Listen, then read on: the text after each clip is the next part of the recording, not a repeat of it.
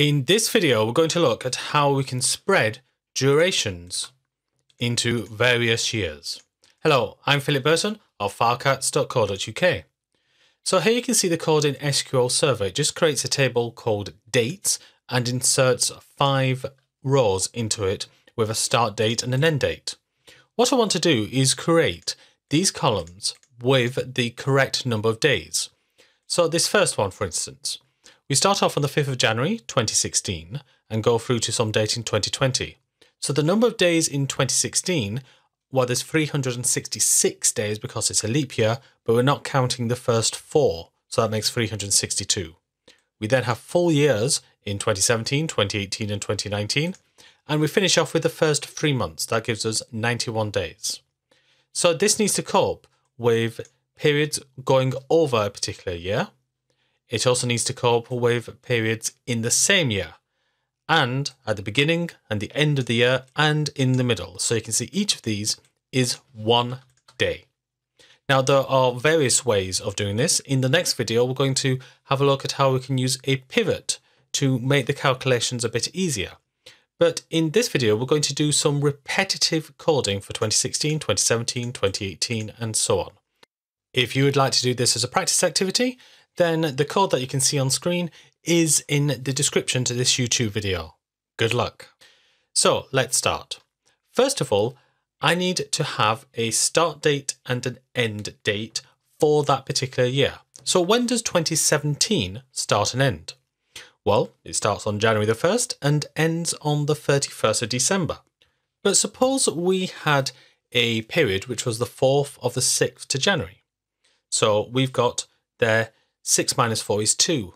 But we need three days. We need the entirety of the 4th, the entirety of the 5th, and the entirety of the 6th. So what we do is instead of saying that would be the 4th of January to the 6th of January, because that would only equal really two days, because we need the 4th, the 5th, and the 6th, we say the 4th of the January at midnight through to the 7th of January at midnight. So that would equal three days. So in 2017, what we say is it goes from the 1st of January at midnight to the 1st of January in 2018 at midnight. So the end date needs to be pushed forward by one day, say from the 1st of May to the 2nd of May, or the 31st of December to the 1st of January, to allow us to have the full computation of that last day included. So let's have a look at the start and the end dates for this. So the start date should be, well, 1st of January 2017. However, for this one, it should be the 10th of May, the 1st of January, the 31st of December. What do we do for this line? Well, we need the start date and the end date to signify that there will be no days in 2017. Let's concentrate on the other rows and see if that happens automatically. So we've got the start date and the end date. Now, what is the first day of our period? Well, the first day of our period in here should be the relevant start date. So we'll put start date as the first date. So let's just run that now. So that will work for these, but we're talking about 2017. So the first date shouldn't be a day in 2016, it needs to be in 2017. So what we need to say is case when the start date is in 2017 or beyond, then give me the start date. Otherwise, so else, give me the start of the year. And we need to put an end at the end of a case. So let's just have a look at that. So now we have got these being in 2017. We have the first date of this period in 2017 being the 1st of January and this one remains in 2018. We'll see how we can use that to our advantage. Now, what's the last date going to be? Well, it's the same thing. If the last date is in 2017 or maybe even earlier, then keep it like that. Otherwise, we need to make it, well, I would say the 31st of December 17, but remember, it needs to be midnight the following day. So it'd be the 1st of January 2018. So, case when if the end date is less than 2018, notice this one is less, not less than equal to. So if it is exactly equal to January the 1st, then I don't want it to be covered. Now, in reality, it doesn't make any difference for this particular example, but generally you should always be careful about what signs you use and whether they use equals. In this example, it will work out to exactly the same thing. So if the end date is below 2018, so it's in 2017, 2016, 2015, then give me that end date. Otherwise, give me 2018, January the 1st. So that is the last date in 2017. So let's have a look at it and see if it works. And you can see it works for here. So this one, the last date in 2017, is midnight on January the 1st, 2018.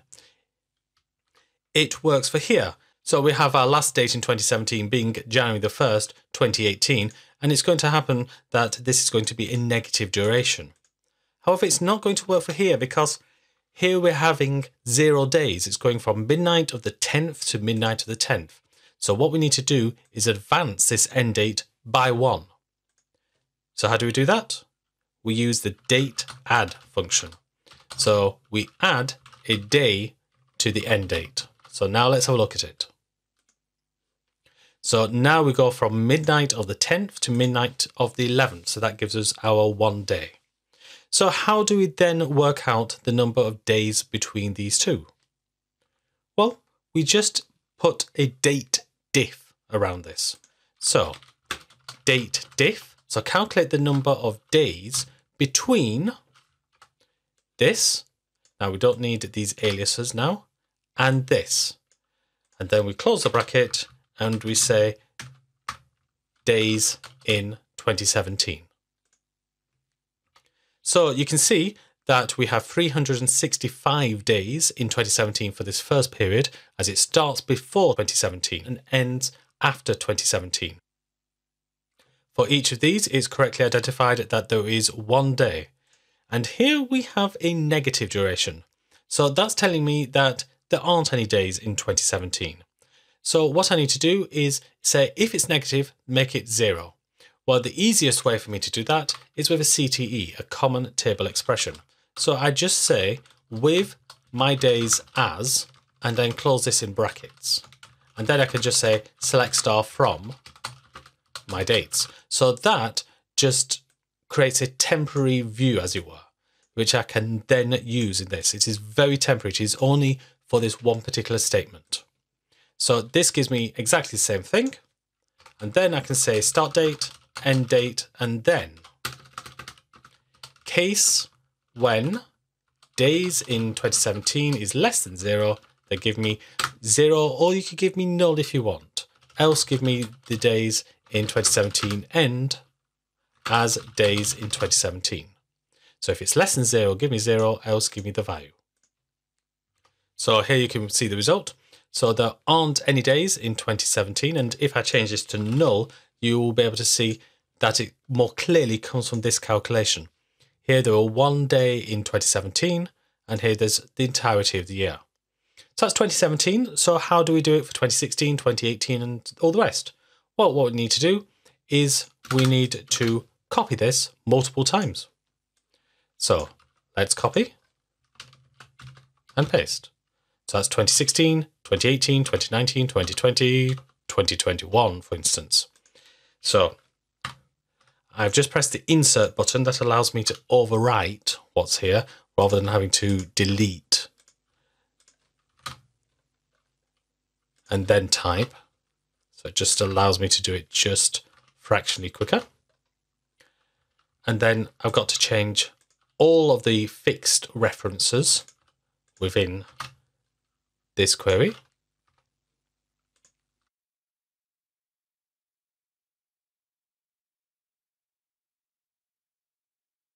And then at the end, I need to change all of the dates names.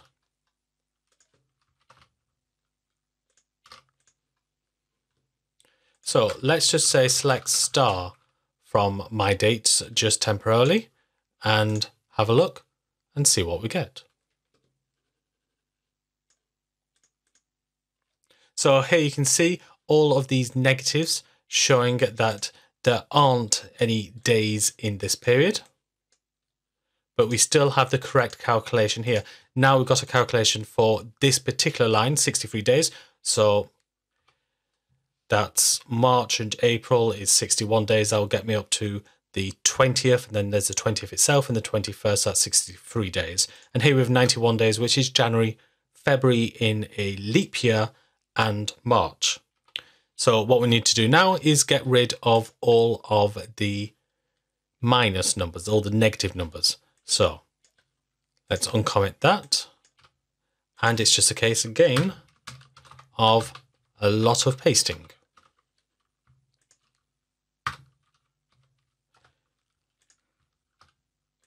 Now, obviously, one of the disadvantages of this method, firstly, it makes your code a bit more complex because you're doing the same thing repetitively.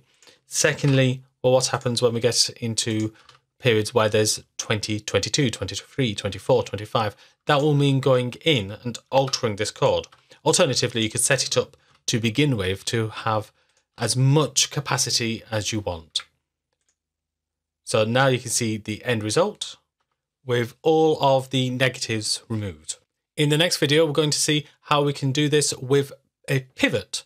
So that means that the actual calculations that we need to do, we only have to do the calculation once and then we turn it around so that we have 2016, 2017 and so forth going across. Well, I hope that you enjoyed this practice activity. If you did, why not like the video? Subscribe to my YouTube channel and click that bell so that you can be notified of more videos when they come out. If you want more practice activities, please click the link on your screen. Or why not join me in my Udemy courses where you can learn about TSQL, database administration, SSRS, SSAS, SSIS, and more. There are full details in the description to this video or on my website, filecats.co.uk. Thank you very much for watching this and keep learning.